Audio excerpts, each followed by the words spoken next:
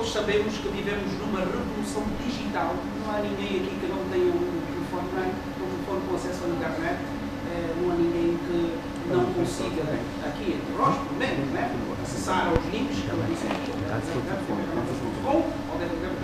www.tpi.tv, eh, porque vivemos de facto numa revolução tecnológica.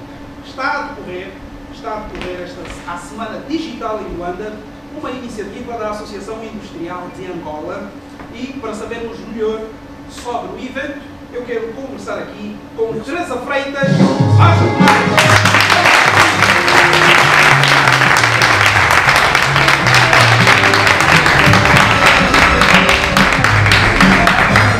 Pois bom, seja muito bem-vindo. Por favor. Senhor, com uma saudação digital, não é?